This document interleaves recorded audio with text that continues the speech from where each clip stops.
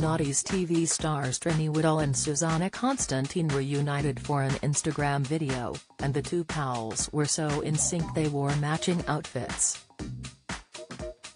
The pair were huge in the early 200s, and known for their BBC programme What Not to Wear, but they went separate ways in 2007 after one of their shows sparked a backlash. However, the friends reunited this week to speak about Susannah's new memoir, and they couldn't resist a bit of fashion chat as well. Trinny, 58, shared a 29-minute-long video of their duo speaking about Ready for Absolutely Nothing, which began with Trinny holding her hands over Susannah's face, before introducing her friend.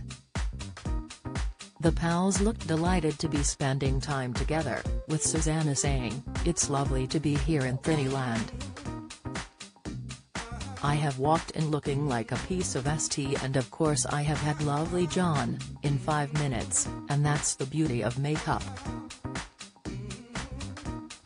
Trinny then observed how the pair were both wearing navy shirts and dark jeans, with Susannah adding, We never do that in real life, we don't suit the same kind of clothes.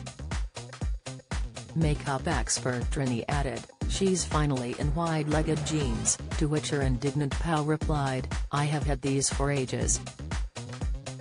Trinny then went on to praise Susannah's book, saying she thinks readers will be surprised by what is revealed. She went on, from the outside, lots of people think you had a very entitled life. You never spoke about lots of things in your life. The fashionista said she was surprised by her friend's candor in the memoir. Nodding in agreement, Susannah replied, It's funny how people who know me really well, have known me for a long time, Elton John being one of them, he said I didn't know anything about your life before you met me, also then there are people who have read it who come from a completely different background and didn't grow up with privilege like I did, and they all say it's so relatable, and for me I am more proud of that than anything else.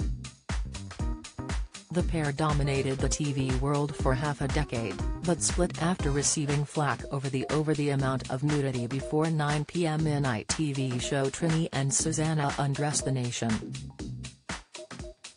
Susannah has previously said, that show was the death of our career because it was grass and not done with the empathy that had made us successful, she continued.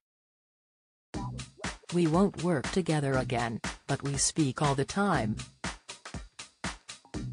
we're opposites in every way but we have an incredible bond. The pair's divorce, as Susannah has called it, made a huge hole in her life. Wed been Trinny and Susannah for so many years. I'd walk through an airport and get recognized, but people wouldn't say, oh look Terry Susannah they'd go, oh look Terry Trinny and Susannah, Susannah told ITV's Loose Women.